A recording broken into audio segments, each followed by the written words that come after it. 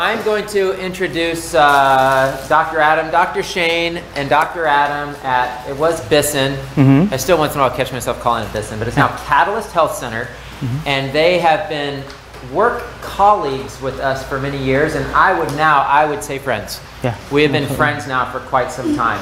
Um, there are only a couple, you're not the only one, there's only a couple chiropractors that we refer everybody we see here, we've usually refer them to two chiropractors. Now that's pretty cool considering there's, I don't know how many hundreds of chiropractors Yeah. probably in Kansas City. And he means Shane and Adam because Right, they're both Shane chiropractors. Adam, So that's two. the two. Now, So yes, there. I mean, we just obviously we're really into people we trust and people we know and people who we constantly get good feedback about how Mm-hmm. amazing they are. And that's Dr. Uh, Adam and Dr. Shane. So uh, we're honored to have him here. We've done a lot of events together, Yeah. and uh, he's going to talk about. I can't remember the title, but healing on purpose. healing on purpose. That's right. It, purpose. igniting some life. How does that I sound? be quiet. Yeah? I, I'm up next at three o'clock. If you want to stick around on fasting, um, but for right now, I'll turn it over to Just Dr. Adam. Perfect. That's what I'm doing right now. All right. So, very good. All right. Yeah. Speaking of fasting, everybody eat real quick because you're going to start fasting right after this. Is that what it is? No. I just no, not at all. Um, you know, it's kind of like when you go speak and you're talking about how bad soda is, and everybody has soda in the room and they feel guilty for it. It's like, wait a second. Um, no, we're, we're actually going to get started here. Speaking of fasting, I thought it was interesting he was going to speak on fasting after me because I'm actually currently fasting, um, which is perfect. So um, I'm going to probably stay around to, to listen more on that. But um, first of all, Vaughn, thank you uh, so much. It's, it's been a, a tremendous journey working with you and um, in Spirit of Health, and obviously building a, friendship and, and relationship that way with you and your family. So, coming in today um, was very exciting for us uh, because one of the great things about coming here is, is uh, the understanding that, that those of you that are sitting here are being proactive towards your health. You know, you guys are all looking and seeking for something, right? And at Catalyst Health Center, you know, those are the type of patients that we truly want to, to not just bring in, but to even lift up to a further level. And that's the ultimate purpose of Catalyst. When we look, you know, people want to know, well, what's your mission? What are you trying to do? Um, am I good? Um, is, is truly in our mission is to begin to restore hope and ignite life in people. Because a lot of times when people walk into our door, it's not because they're, they're healthy and they're happy. Why do you think they're walking into our door? they're suffering, right? They're hurting and, and, they're not getting the answers that they need. In fact, most of the time we're the last resort when patients are coming in. I truly wish that, you know, even for Vaughn and for us, that, you know, it was the reverse in the fact that it's the first response to go somewhere that's going to help your body heal the way that God designed it to heal.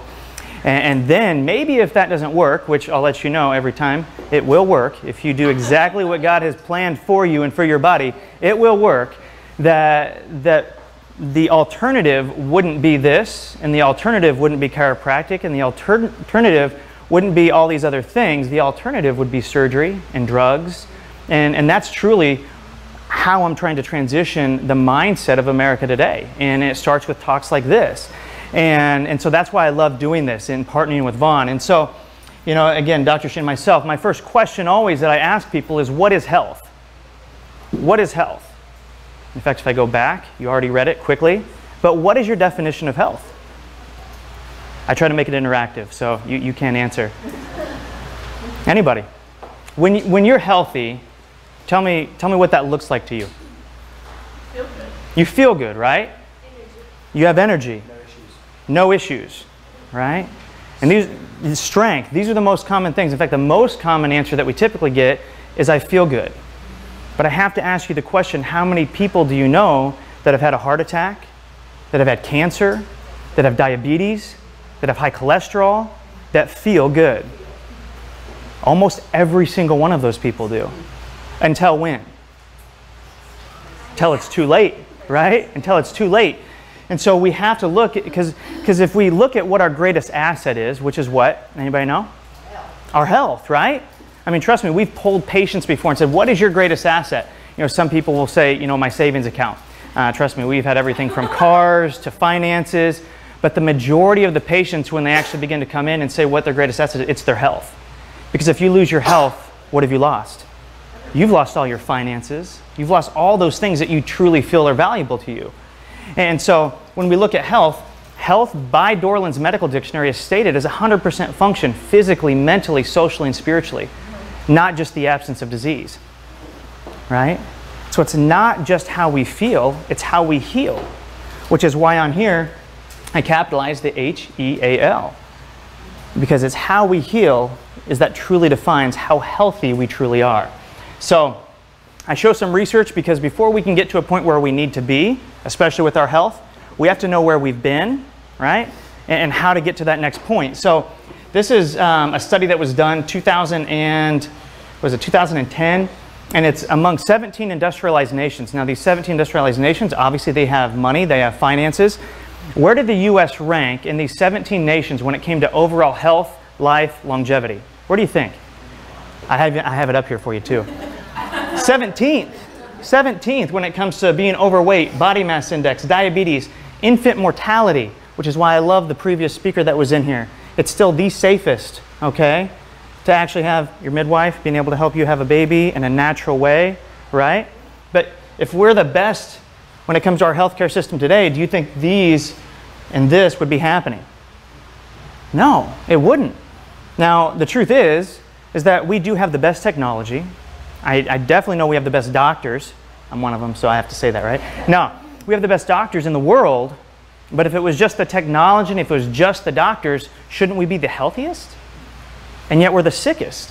And in fact, this research study was actually called what? The U.S. Health Disadvantage. How crazy is that? So we live in a system that when it comes to our overall health, we're actually at a disadvantage compared to, to the other 16 industrialized nations. And in fact, if you truly look at the research, a lot of third world countries have better health than we do. I mean, trust me, it's not about poverty. It's not about the commercials that we see. Trust me, you'll see plenty of them where people aren't doing well. But when it comes to overall health, we are, we are dead last. So we need to transition that mindset of what we're doing. So when we look at disease and a disease timeline from the start of a disease, okay, so before we know we have cancer, do you think that's when the disease is starting? So you think the cancer starts the day you find out you have cancer? No, let me reword that. So the start of cancer is right here, right? Okay? This is the end stage disease, which is also known as what? Death, right? Where does the symptom show up? Here? Here? Right there. How incredible is that? You know, my goal through this is to help transition your mind, okay? healing on purpose, okay? Igniting life, helping you understand that, that life is not just us having our eyes open and breathing and moving, okay? Life is more than that. Life is vitality. It's not a survival mode. It's, it's a mode that we can actually thrive and move forward. And if we constantly wait till we're here, is it easier to get to here or easier to get to here? yeah, we laugh, but right here, right? And so, what do we have to do to begin to transition that? So, if your body's so amazing, why is it breaking down? Right? Isn't that the question? Why do I ache with this? Why do I hurt with this? Why did this person who I thought ate all the right foods and exercised develop cancer? Right? We're going to get to that here in a second. In fact, my stepfather is one of those people. He exercised every single day. He rode a bike. He did RAGBRAI. Has anybody heard of RAGBRAI? It's a it's an Iowa bicycling goes all the way across the state of Iowa. Okay, so this guy's fit. He's like 6'2", lean, healthy, organic food, all of these things. He went in for a yearly checkup and found out that he had stage four prostate cancer. He felt fine, but was he healthy? Did the cancer show up clear over here? No, it showed up clear back here, and it was stage four. You know, there's a little girl in our church right now. She's literally three years old, the age of my daughter. I'm going to try not to cry on this. We got a phone call. Yeah. Okay. A few weeks back, I had just talked to the mom earlier that day about her son and some things that were going on, and I said, "Call me if you ever need anything." That night, 11:30, I hear sirens in the back of the phone. She's calling me, and they're rushing her daughter to the hospital because she literally dropped over, stopped breathing, and they didn't know what was going on. Lymphoblastic lymphoma in her lungs. She's alive and she's at home today. And I'll tell you, 99% of that is the power of prayer and the healing that comes from it, okay? They rushed her to Children's Mercy. They saved her life. She is alive today. But did that cancer start when she got to the hospital, the moment she passed out? No, it was starting before. So, what are the things that we're doing and what's causing these issues is this right here. You guys ever heard of this word? You guys ever deal with this word? Ever? You do realize that stress on a physical, chemical, and emotional basis, these are the different ways that it can affect you. Okay, I call it the three T's. Okay, toxins, trauma, and thoughts. Okay, is that stress can either help you or it can hinder you. You know, stress can actually be good for you, right? Do you know what one of the most stressful and fearful things on earth is actually to do? Do you guys know what it is? Do you think people fear death? Yeah, yeah, people fear death, right? Pretty high up on that board. What about public speaking? Right? Yeah, it's actually ranked higher than death. Crazy as that. Yeah, trust me, my heart was beating pretty hard every time I come up here. It's all right because I know I have a purpose and a mission. And, and my ultimate goal is that even if it's one word, it can spark a change. It can ignite life in you to begin to move forward, okay?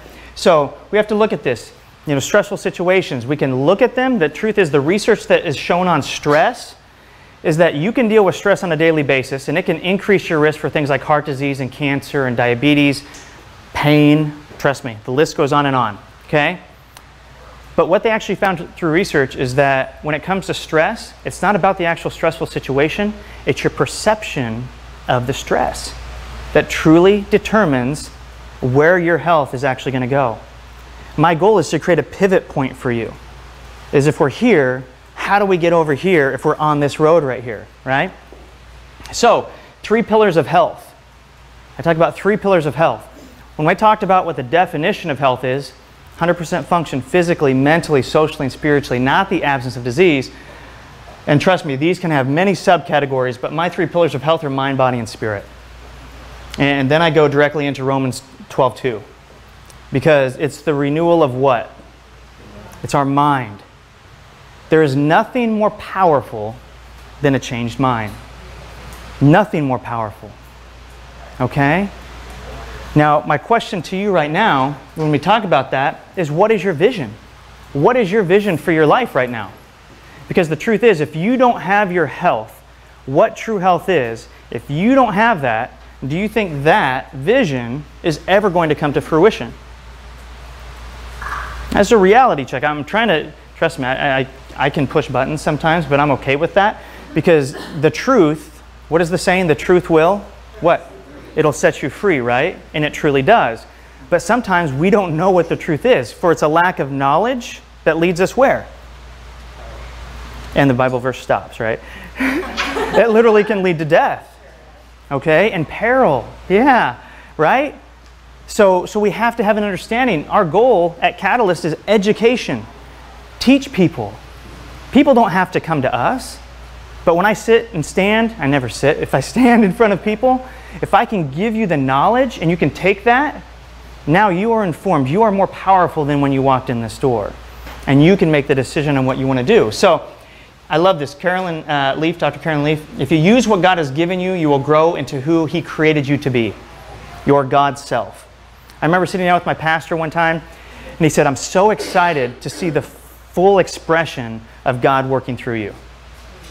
I'm like, wow, that's so cool. Because when you do that, do you think that you live in fear on a regular basis? No, you just continue to move forward. So here's my question. What do you see here? Anybody else scoot up the side? I'm not going to be on the camera for a moment. What do you see? Now what do you see? Oh, you see a cow, right? I hope nobody thought it was a sheep or something like that. You still got it wrong after I outlined it. It's, it's a cow, right? So sometimes we even have our own blinders on that we can't even see. And again, it's perception a lot of times of, you know, this is what I thought health was. Oh, wait, no, this is actually what the definition of health is. So sometimes we just have to have that little, little piece of change that opens up our eyes to move and take that pivot point in that new direction. So I always talk about the mind because there's nothing more powerful than what? A changed mind. So reconditioning your mind. Do you think it's an easy task? No, it's not an easy task. I feel like I have to recondition my mind about every 10 minutes uh, because of where it goes all the time. is this going to work out? Is that going to work out? You know, I own a business. Is, am I going to be able to provide for this? I've got my family. I've, I've had a wife that's had chronic illness. I, I, have four kids from six all the way down to six months. Two of them were surprises. Yay! You know, uh, they're the biggest blessing. But if I look at it not as a stress, but as a blessing, how does that change our mind? How does that change my body from the inside out? Okay, so recondition your mind. Don't let the mistakes of your past rob you of your talents and God's future for you. Okay? I think that's vitally important. Okay? Ask yourself these questions Do I take care of myself? Am I letting myself get overweight, out of shape? Am I conscious of my health? Do I make a deliberate effort to exercise? Okay? What do I want? That's a pretty important question, right? Have you asked yourself what you truly want? What do you want to do? What do you want to be? I love having kids in here because I mean, it's just their, their minds are so open. It's like, what do you want to be? I want to be a fireman. I want to be an astronaut. I want to be a doctor. I want to be a garbage man. I, who, what if we could continually think like a child, right? That our mind could truly open up and, and be in that place. It's powerful stuff. More important, what does God want for me? That's an even bigger question that we have to begin to ask ourselves. We cannot help getting older, but we don't have to get old. I love this. George Burns says this. The truth is, we all are aging. That's one thing that never goes away is time, right? Time is the same for me as it is for you, isn't it? And, and there, somebody once said it's, you know, no matter what you're wanting to get out of life, no matter what direction, no matter what purpose, no matter what passion, you know, it depends on what you do with your time that's going to get you there. I like to change that a little bit and I say, it's actually more about what you do with your mind that gets you there. Because what's here is going to dictate what we're going to do moving forward. Because how many of you right now in this room are at your optimum health? That you're in the place where you could say, I exercise the way that I want to exercise, I, I eat the way that I want to eat, I feel the best I've ever felt in my life, and I'm just, I'm at the top of my game right now. How many people in here? Wow. Nobody. Why? Why? Because you can have that. You know that. You can have it. And when we truly begin to think about this, where you are right now is what you've thought about yourself up until this point. And that's the truth. And so if you're not where you want to be, it's because of the way that you were thinking about every single day, every single moment, where you want to be. So if you want to change where you're at, what do we have to do? We have to change our thinking. Where do I want to be? How do I? That's why I say like every 10 minutes. Sometimes it's five minutes, sometimes it's three. You know, I've got to change the way that I think about where I want to end up. Because if I'm thinking, man, I'm so tired, what am I going to be? In fact, our thoughts are more powerful than our actions. Because what? It first starts here, right? Our thoughts create our actions, our thoughts create our words. You know, when you say, oh, I, I just slipped up, I didn't mean to say that. What were you thinking? right? It's there. And so, if we want to transition and change when it comes to our health and our living and ignite change in our life, we have to start within that mind. We have to ignite a spark. You know what, you know what a catalyst is? Catalyst is something that, that, you're, that put, is put into an equation to ignite a change a faster change than you would get without it.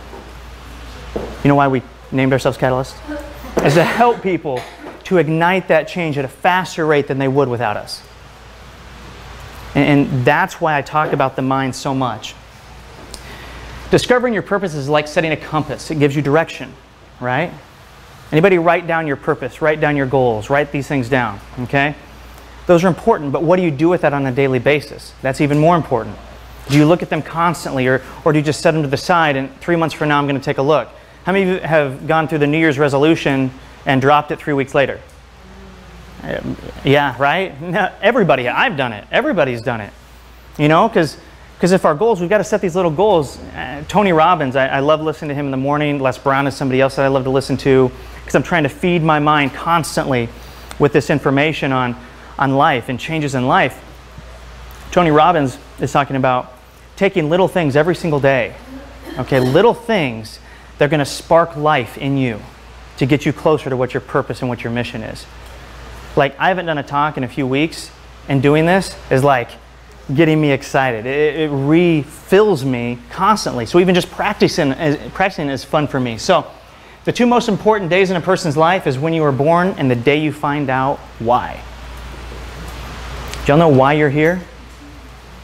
You know, just a few weeks ago, I, I drove my wife back from one of her medical treatments, and our church was having their weekend retreat. I kept hearing God say, You've got to go to this retreat. You just got to go there. There's going to be healing. There's going to be things that are happening there. You got to go. And I'm like, But God, it's, it's a four hour drive there. Then it's two hours back in the exact same direction that I went. And I've got my kid, and I've got, so I drove him home. I found a sitter literally that day. I went back, and I'm driving back. And as I'm doing that, I'm, I'm just listening to worship music. I'm praying, God, just why, why are you wanting me to do this? And I, and I hear from him saying, You're supposed to tell the story of health. Your mission is to tell people what true health is. What is health? And it's not just a chiropractic adjustment, it's not just a supplement. Know, it's not these things, it's, it's the renewing of our mind. Because from there all things will flow from above down inside and out. That's true health. And so when we look at this what do you believe about the end determines how you behave in the middle. Does that not make sense? I mean how many of us have had life situations and because of that situation we've avoided so many others because we know that it's going to end up exactly the same.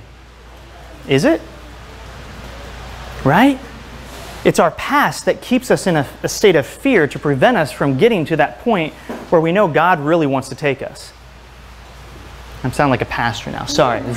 I, I get excited. So, what if instead of our circumstances controlling our thought life, our thought life controlled our circumstances? And this is not something that's just for me. Trust me, I say this again and again. I have to work on this every single day. But what if that were the case? You realize that you have that power within you to be able to do that. If you had your life to live over again, would you have done more? Would you have done more? If you were to go back, would you say, you know, I could have done this, I could have done this? We all have that going on, right? But you could be sitting here and you're not doing something because of fear of it not working or not moving forward. And Les Brown gives this great analogy. He's speaking and he says, This gentleman or this lady, they're laying on their deathbed and and as they are actually passing on, there's these basically these spirits that are all around them, and it's the spirit of the book that that person should have re- uh, written. It's the spirit of that trip that person should have taken to do missions. It's, it's these spirits that basically saying, Why didn't you use me? Why didn't I move forward with that? And, and to me, that was a great analogy because the truth is, we look back in our lives, the truth is, we're all still here, right? So we can look back at those things that we haven't done and we can actually still do them. It's never too late. And that's what I think is so powerful. And the one thing that typically keeps us from that is what's this word right here? Fear. Fear can either be a blocker or it can be a building block. Okay? It can be a blocker or it can be a building block. Which is it for you? You know, a patient just the other day, I know I'm, I go off on tangents. I, I, when I always joke before I start talking, and I'll be like, yeah, I'm going to talk for three hours. Everybody looks at me like, what? I really could talk for three hours. I get excited. But, but I had a patient come in and, and she's like, I'm dealing with some severe, severe anxiety. You know, what did you do with your wife when she was dealing with anxiety and depression? I was like, Whew, okay, well, that's kind of loaded.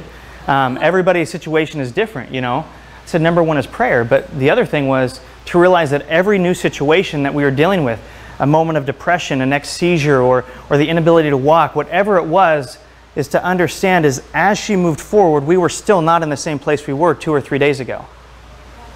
Because we were in a new place. When my wife miraculously, I mean, y'all heard of Kairos moments? These moments that just, they, they are beyond time that God is placing you in. We had a, I still think we're in a Kairos moment. Her healing went from seizures daily, not walking, to literally standing up and she ran. Okay?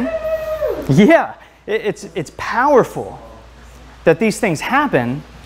And, and we always heard through this whole thing, oh, we want the old Jen back. We want the old Jen back, or, you know, the old Adam. Or the, the truth is, every single day we are changing because we are renewing our mind. So it's the new Jen. it's the new Adam, it's the new you that is coming forward. Truly, when you walk out of this room, it's a new you. Because hopefully you're learning something new that you can use and utilize in your life. That's the power of our mind. So, don't let fear be a blocker for you. Okay? Life is God's gift to us. How we live it is our gift back to Him. I'll say every time I talk somewhere, that is what I say. So, hard and impossible are two separate things. During times of adversity, you will not perform an act equal to your challenge, you will perform an act equal to your training. You know, we were told to start laughing when bad things happened. And you know what it sounded like at first? it's fake, right? It's a fake laugh. It's Just because we hadn't practiced enough. You know? So we just got to practice on these things. Whatever it is, whatever your passion is, your purpose is, go for it. Keep training. You cannot build anything that won't bring a battle. It's the truth. Meaning that I'm a practitioner. I help bring healing. I know God has given me a gift for healing. I bring healing to people. And what is God trying, or the enemy trying to take away from me and my family on a daily basis? Our health. Yeah, he attacks you in your strengths. But just realize that he has no endurance. The enemy has no endurance. There is no endurance that God cannot out endure. And that's the truth. Okay? So, cynicism is a choice, hope is a better one. Just little quotes here. Failure is simple, success is not so simple. True success is significance. Keep moving forward. I say that all the time. That's, I don't know if that's my tagline, I don't know where I heard it. I just always say it. Keep moving forward. Keep moving forward because to end up exactly where you need to be and where God wants you. So here we go. I mean, I'm not even halfway through my slides. I'm going to have to move. I'm, are we good? Okay, good. Usually when people when people walk in, Tiffany's like, stop. Cultivating healthy habits or healing habits. I used to have healthy habits on here, but what is health? It's healing from the inside out. So it goes from our beliefs to our action to an outcome. We talk about education. When we educate, when we teach, when we when we fill our minds, then we take the proper actions to then get the proper income. Outcome. I don't know why I said income. It comes in, but that's good. Obviously, what goes in does come out, does it not? Right? Yeah. Food and wisdom and knowledge, hopefully. So I, I love this. Um, this is also, this come from Matthew. There's a little bit of a gap here, but make a, a tree good and its fruit will bear uh, for you good fruit. If you make a tree bad, it will bear bad fruit. If a tree is recognized, but a tree is recognized by its fruit, right? So we, we look at this in the fact of the things that we're doing, the things that we're getting from what we're doing are coming from the things that we're actually doing, right? So what we get is what we're giving. You know, one of the biggest things is just give. Give. That's why I love speaking. Because to me, this is like, this is a way for me to give and the little bits and pieces that I've learned through the years. So, movement and fuel, motion is life. Now we're getting into a little bit more. I've gone through the mind. Now I'm going to go into body, the things that come in, the things that go out. Again, above side, above, down, inside out. I start talking really fast when I get excited, so I'm going to slow down a little bit. But movement and fuel, motion is life. What happens to a pond when it has no outlet? Stagnant, right? What happens to your body if your blood stops flowing? Stagnant, you die, right? What about your nervous system? If it stops moving, it, you also die, right? What controls your heart? So, even above the blood flow, what controls that? Our nervous system, right? So when things aren't moving, even food and fuel, these things that have to be moving through you, if you begin to look at food in a different way of most people think of food as pleasure, right? They think of food as pleasure. We gather, we, we associate foods with situations, right? And so we eat for that pleasure. But we need to begin to transition our mindset into eating for fuel, okay? So this is the endless cycle of decreased well-being, which is kind of the, uh, the American way right here. So, stress, tension, muscle tightness, decreased circulation, metabolic waste and accumulation, toxicity, then to pain, and then to stress again because now I have pain, and it just keeps going, right? How do we break those bonds? So, the power of the human body. The power of the human body. How did God create us? Over, over 100 trillion cells that are constantly trying to communicate and connect and send a signal to, to say, I'm on this stage of early disease or this stage of end, end disease or where am I? The truth is, all of this healing, all of this function begins from the inside out, right? And so, what controls all function of your body? It's our nervous system, right? Now, is it our brain or our spinal cord that actually controls our nervous system? Our brain controls most of what happens within our body, right? Well, here I'm going to I'm going to switch some things on you, some new research, some really awesome information, okay? So we're going to hear something new. But here's where I go with this. You can go a month without food, days without water, minutes without air, but can you go a moment without your nervous system sending a signal to allow your body to do something? No, if you have a cut, it's your nervous system that's sending a signal to get those platelets there to clot that up and to, to hold it so you don't bleed out. A bone, if you break it, what does it do? It'll heal. If it's not sticking clear out, right? You know, if it's still in there, it'll heal. It may need to be set, but it will heal. Do you have to think about that healing process? No. How awesome is that? I wouldn't want to have to think about that for like, you know, 12 to 16 weeks or however long it takes. We wouldn't want to think about that. But would you rather have a brain problem or a back problem? It's okay. You can say a back problem, right? Yeah, yeah me, right? Can, we can take care of that. But we all say what? We all say a back problem. Here is where the fun begins and the change and the transition. Our spine is actually a neurospinal organ. Okay, this is what the new research is showing. It's not just a set of hard bones with soft tissue that surrounds it and a spinal cord that sits inside of it. Your spinal cord, by the way, is an extension of your brain. Okay? And where does it sit? In your back.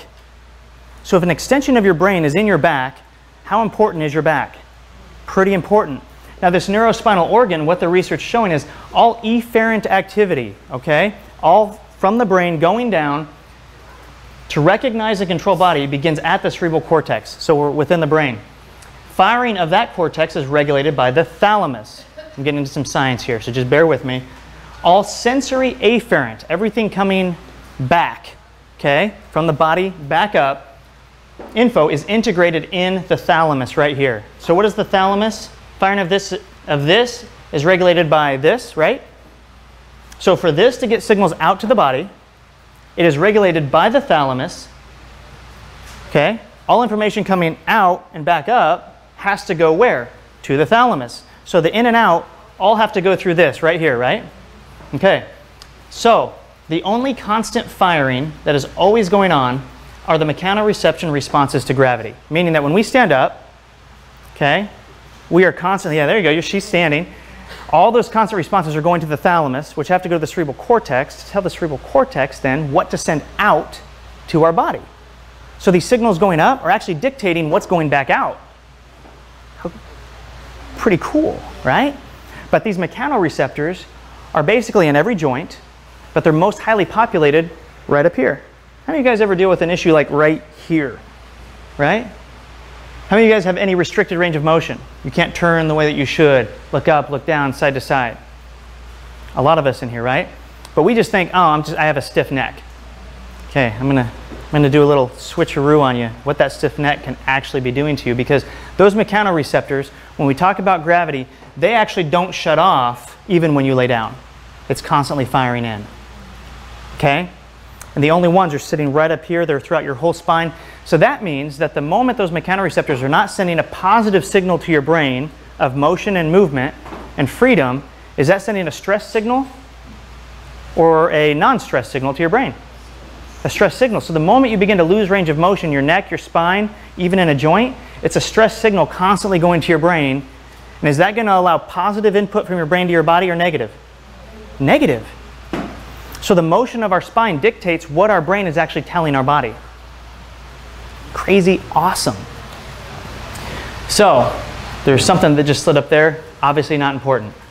If I can get to the next slide. So we talk about subluxation. It's this long word that chiropractors use. Now we are a, a medically integrated office. We have a nurse practitioner, we have chiropractic, we have rehab therapy, um, we have a lot that goes on in here because we don't want people to have to go to multiple clinics that the physicians and the doctors all know what's going on with somebody when they come in. That we can actually communicate. We take it to our team to make sure that you're getting better. But we look for this thing called subluxation. That subluxation is determined by the alignment of your spine that we see through x-rays and the movement of your spine and your joints. Because if there is restriction, is that sending abnormal signals to our brain? Yeah, this is so much more than just a pinched nerve or compression on a nerve. Because that restriction what the American Journal of Neurology states, not chiropractic journal at all, Neurology Journal states that 37% of 20 year olds have asymptomatic disc degeneration within their spine, meaning they don't feel anything, but 37% of these 20 year olds have degeneration. How many of us think degeneration is an old person disease? Osteoarthritis, we do, right? But what this proves is that restriction in movement increases the rate and the risk for degeneration. It can be in your knees, it can be in your spine. So the moment something is not moving the way that it should, degeneration sets in within one to four weeks. So as we move on, so along with 96% of 80 year olds, that's a pretty high number, right? So there's the older population. Disc bulges prevalence increased from 30% of those 20 year olds of age to 84% of those of 80 years of age.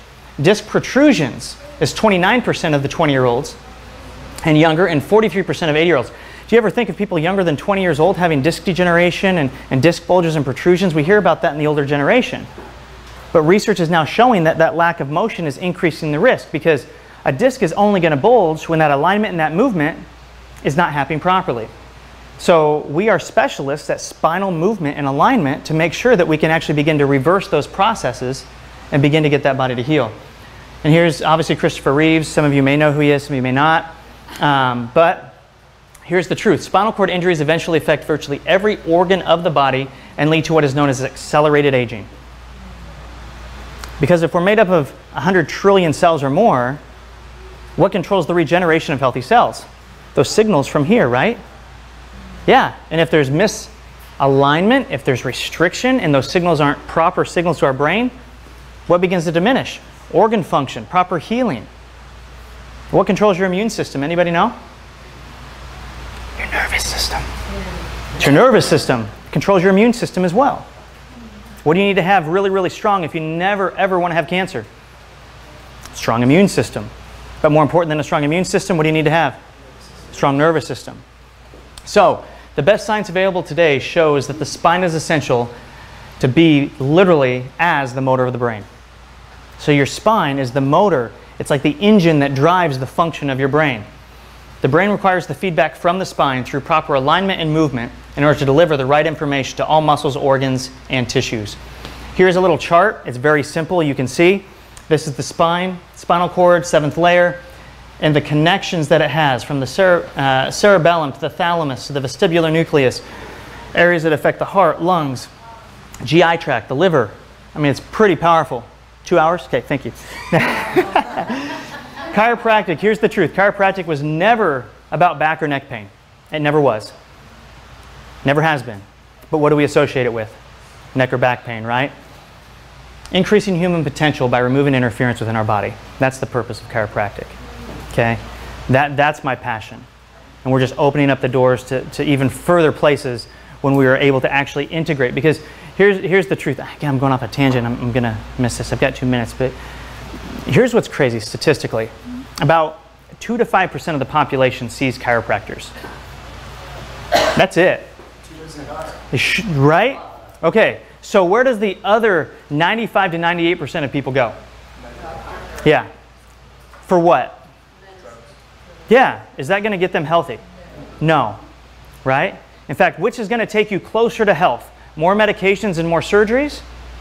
Or cleansing and healing and getting your nervous system functioning and putting the right fuel within your body? Yeah? I mean, can't people get this? No, they don't want to. That's why I typically challenge people and I say, open up your mind to see what the science, to see what the research is actually showing. And if you want some, we've got some papers back there. But, you know, chiropractic was never designed for that. Here's just some function, obviously, of the spine, some things that it helps with.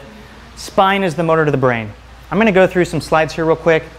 I just, this is some examples of patients that have come through. But proven benefits of movement. This is spinal motor patterns of movement within your spine prevents up to 47% of cognitive impairment, prevents up to 62% of Alzheimer's and 52% of dementia. Okay? Decreases all cause of mortality by 50% in 61 to 81 year olds. This is just spinal movement, getting out and walking. That's why I love chiropractic so much because what are we eliciting every time we put our hands on a patient in their spine? Movement of the spine to re-trigger that response to the brain. I talked about nutrition a little bit, but I'll let Vaughn go into that. We, I, we are talking more within our clinic. Um, instead of using, there's two sources of fuel within our body. Okay, do you know what those sources are? Anybody? I'm going to flip through this really quick. Nobody knows what sources of fuel are? Vaughn, do you know what sources of fuel? Sugar, glucose, right? And fat. Those are the two fuel sources. Can one be on and the other be on at the same time? No, it's one or the other. So which are you utilizing? Yeah, it's, it's ketosis. So carbs equal glucose. Sugar has a really nice chart here called inflammation. We know inflammation is very, very good for us. or not. Only when we're trying to heal from a cut, something like that. But it leads to many, many issues where fats actually turn into ketones and can be utilized in your body for energy. And then it has a lot of positive benefits right over here. Everything from better cognitive function. It starves cancer cells, okay? Increases energy. So here we go. Both of these women are 74 years old. The choice is yours. The truth is, in transitioning our mind and how we think, where do we want to be? Where does God want us to be? How can we move this? How can we ignite the life within us that then begins a spark to those people around us as well? Our family, our friends. That's why I get up here and I speak. Is because it's not just about the people in this room, it's about those that you love, that you probably are sitting here thinking, I wish they were sitting here right now and heard this information. It's okay. Vaughn said it's going to be on YouTube? Yeah, I'll YouTube. Okay. So, with that being said, I just want to say thank you for allowing me to come up, to speak, to share my heart, to share my passion. Um, this was a lot of fun for me. I know I didn't get through all my slides, and I knew that I wouldn't. That always happens. I've got like five more after this. But we're going to stop here because I just want you to leave with that. So, thank you so much, Vaughn. Thank you again. I appreciate you all. Thank you. Yep.